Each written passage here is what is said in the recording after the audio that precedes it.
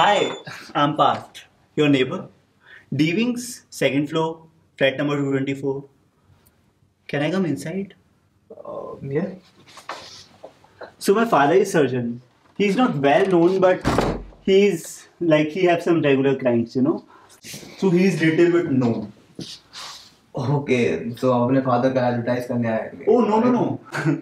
Actually, uh, my family is not here. They left it with my I was not in a mood to go to Manali for family trip. अभी थोड़ी पहले ही मेरा breakup हुआ है I was feeling very sad so I came here actually मैं यहाँ ज़्यादा किसी को जानता नहीं हूँ मैं जानना भी नहीं चाहता क्योंकि सभी लोग बकवास हैं सिवाय आपको छोड़ के so I came here Okay. So you want a company right now, right? Yeah. But uh, I'm sorry, I'm feeling tired. So uh, don't worry, I'm not gonna take your much time. I totally understand that you came from office and you are feeling tired.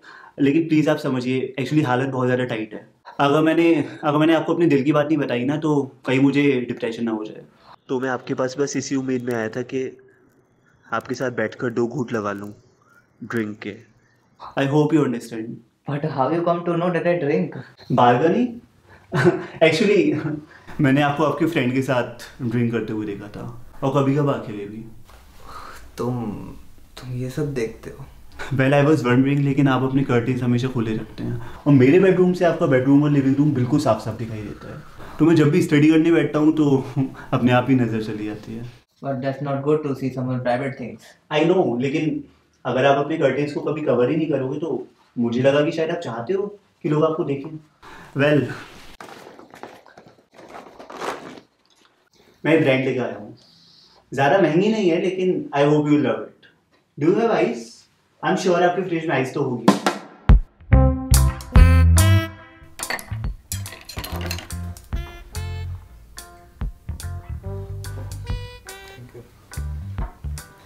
Cheers.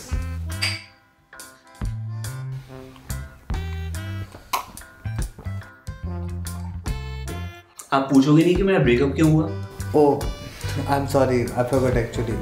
It's okay वैसे भी उस चीज़ के बारे में बात करने से क्या फ़ायदा? जो ज़िंदगी भर आपके साथ सिर्फ़ और सिर्फ़ एक बुरी चीज़ बन के आपके साथ रहने वाली लेकिन डोंट वरी मैं सारी बुरी चीज़ों को बहुत ही जल्दी भुला देता हूँ। Because I am very clear person you know clear and pure जैसा सोचता हूँ वैसा बोल लेता हूँ। जैसा फील करता हूँ वैसा रिएक्ट करता हूँ। फिर चाहे सामने वाला बंदा जो भी सब एक दूसरे को कभी सोचता कि मैं बड़े शब्द देता क्लियर देता ब्ला ब्ला अगर आप किसी रिलेशनशिप में उसका ये तो नहीं है अपने एवरी टाइम गलतियाँ होती हैं इट्स नेचुरल आपका और अगर मैं स्टडी टेबल से वॉशरूम तक जाता हूँ तो मेरे को एरर करता तो उसको मैसेज आता है तो मुझे रिसेंट भेजनी पड़ेगी लोकेशन भेजनी पड़ेगी इट सक्स एक्चुअली मैं आपको बोर तो नहीं कर रहा हूँ अगर आप बोर हो भी रहे होगे तो कैसे बोर होगे लेकिन अगर मैं आपको सच बताऊँ तो मैं उससे दूर होना ही चाहता मुझे बहुत ज़्यादा इरिटेट हो चुका बहुत ज़्यादा परेशान हो चुका उसके मैसेजेस से बहुत ज़्यादा और एक्चुअली अगर मैं आपको बताऊँ तो रिलेशनशिप की एक और बड़ी प्रॉब्लम या किसी और बारे में सोच नहीं किसी और के साथ कब कर सकते and it's the most worst thing So, how old is she? She is eighteen year old और उसकी एक और प्रॉब्लम थी कि वो हमेशा मुझसे बोलती थी कि बेबी तुम्हारे सिक्स पैक एप्स कब आएँगे? मतलब जैसे मेरी समझ में नहीं आता था कि उसको मुझसे प्यार था कि मेरी बॉडी से। जिसमें सिक्स पैक एप्स आने वाले हैं। मतलब मैं जिम कर रहा हूँ मैं मेहनत कर रहा हूँ। Let me show you my body weight see क्या खराबी है इस बॉडी में? It's slim abs are little bit visible let me show you my thighs also. See, see my thighs are getting shaped. अच्छा वैसे your body is also looking attractive. Oh, मेरी body मेरी body बहुत powerful है Well, मुझसे तो अच्छी है. I must say. Can you show it right now? Okay. Right. I, I can help you. I can help you. Wait. I can help you. एक second एक second okay okay I show you एक second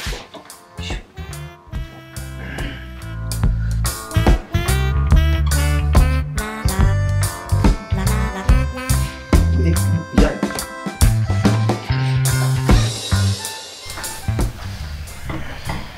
Well, I must say you have a good physique.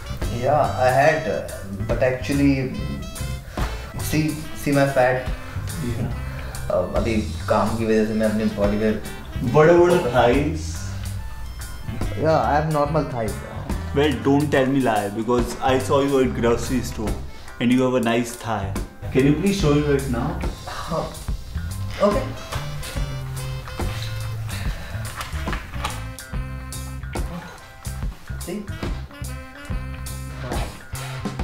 You have a nice package too I must say कपड़े पहन रहा ये सर लग जाएगी।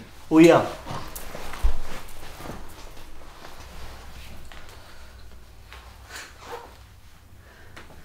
well thanks for giving me your company because अगर मैं अपनी ब्रेकअप किसी से शेयर नहीं करता तो पता नहीं मेरा क्या होता। By the way what's your name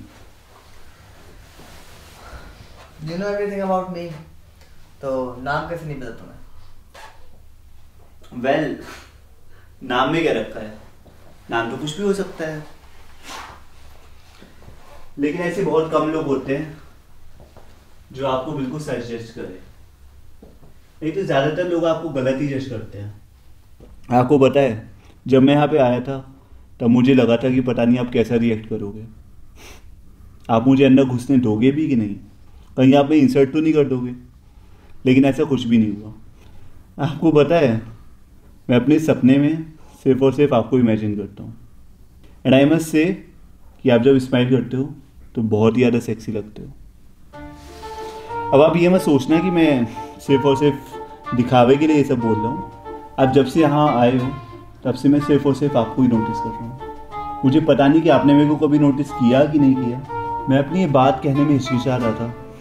लेकिन ये दो घूट अंदर जाने के बाद मैं सच कहने से रोक नहीं पाया अपने आप को। कहीं ना कहीं मेरे ब्रेकअप की वजह आप ही हो। क्योंकि जब से मैंने आपको देखा है, तब से मैं, तब से मैं कहीं ना कहीं भटक गया हूँ। मैं अपने बेडरूम में हमेशा से आपको इमेजिन करता हूँ। जब भी मुझे सपने आते हैं तो सिर्फ़ और सिर्फ़ आपके ही आते हैं। एंड आई एम श्योर कि कहीं ना कहीं आप भी बॉयज़ में इंटरेस्टेड हो।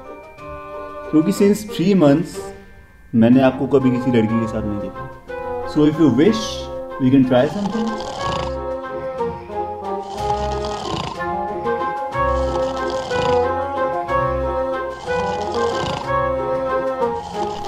Hey, hey, you slept? हाँ वो आँख लग गई थी थोड़ी। मतलब मैंने आपसे जो भी कहा वो आपने नहीं सुना। नहीं नहीं मैं सब सुन रहा था। ऐसा ही तो थोड़ी देर पहले ही आँख लगी थी ना मेरी। एनीवेज रात बहुत हो चुकी है So, लेकिन मुझे अभी तक अपने क्वेश्चन का आंसर नहीं मिला। अब कौन सा क्वेश्चन जो मैंने अभी आपसे पूछा था। Can we talk tomorrow right now I am feeling very sleepy okay good night good night so मैं कल इसी टाइम पे आता हूँ। एक्चुअली इस टाइम पे थोड़ा बेटर रहेगा क्योंकि मेरी ग्रैंड मदर इस टाइम पे सो रही होती है so this will be better for us wait कल कल मत आना। Why actually my wife and my son coming here to stay with me.